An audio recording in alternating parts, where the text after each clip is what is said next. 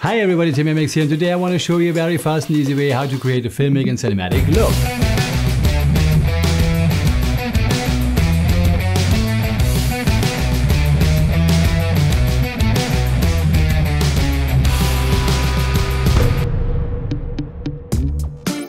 Do you know the fastest and easiest way to achieve a real filmic look? Not such a weirdish or filmic and cinematic look if you want so. Especially if you are dealing with 10-bit footage, it's more a general filmic look. Maybe it could be your starting point for more adjustments, like secondary skin tones or some vignettes for example, but right out of the box this technique gives you a very powerful tool to get a real great filmic look. Of course, there is no universal and always solely valid solution, that's clear, and you should also know that especially if you are just a beginner, you can give up this search straight away for such a solution. Trust me, there's not this only one solution out there which works for every image and which you can use all the time alike. But I can show you a real very very fast and easy solution which works almost with every well exposed image as long it's 10-bit footage. Of course it works with 8-bit log footage too for example but then you have to balance out the image a bit more as I will do it here in this tutorial and maybe you will get some color bandings. It depends on your image of course and just try it out. But the shown technique in this tutorial does not work in ACES. Please keep this in mind. Let me show you my project settings. Quickly I just work in Rec 709 and Gamma 2.4 of course and that's it. And this footage is a simple 10-bit ProRes 422 HQ as you can see here. There's nothing more. Okay, back to topic. All we will need are only three nodes, very straight and simple. But first, you should have color corrected your image and corrected the exposure too. I did it here in this first node. Now add a serial and a layer node and another serial node behind these two layer nodes. You know this bottom node lays above the upper node here, just to be clear. Now on this upper node, turn the saturation down to zero or just type 0 in this field here. And on the bottom node, decrease only the Luma slider down. On the gain to 0, on the gamma to minus 1, and on the lift to minus 1 too. You could do this on the curves or with the curves too, but it's faster to type these values on this corresponding fields here. Then push the saturation to the max or type in 100 and that's it. But now the image looks really horrible, but we are back in the zone in a second. All you have to do now is to change the blend mode on the layer mixer node to soft light.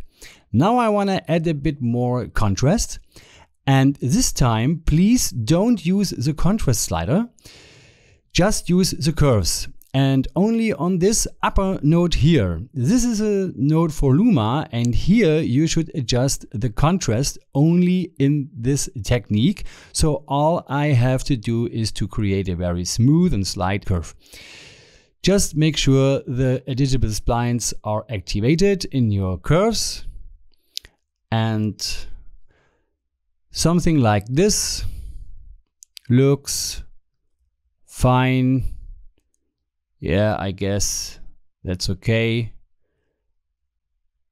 Yes, perfect.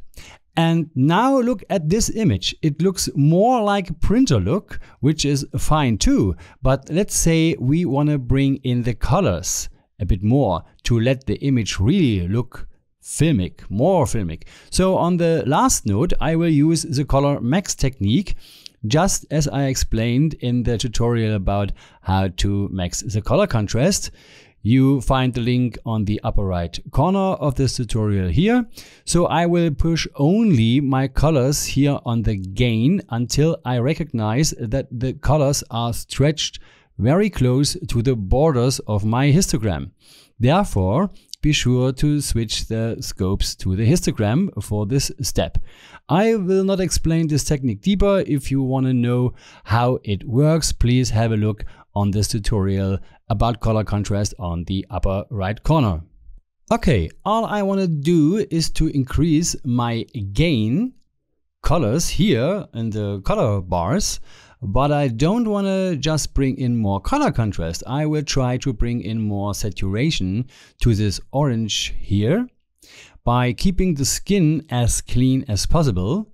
But I guess I will bring in a bit more tonality too to the skin, just a slight warm tone.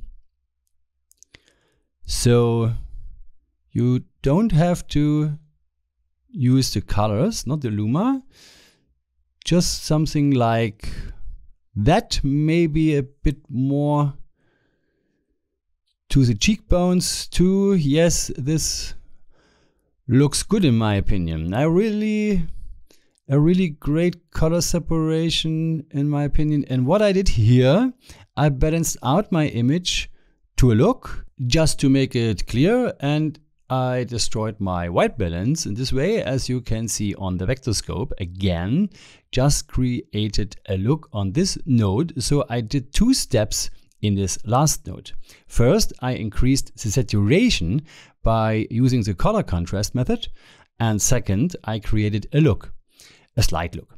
So you can skip this second step if you want. All you have to do then is to increase the saturation. Let me show you this quickly.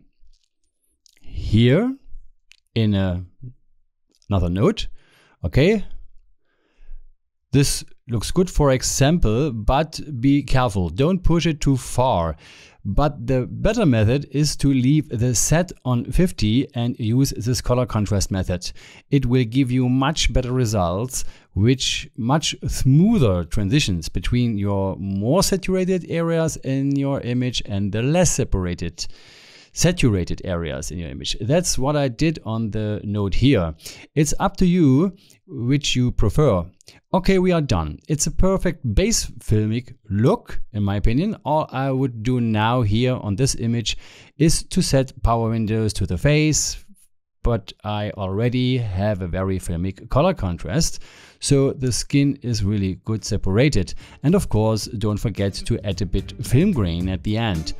I will end here and I hope you can use this technique in your workflow too.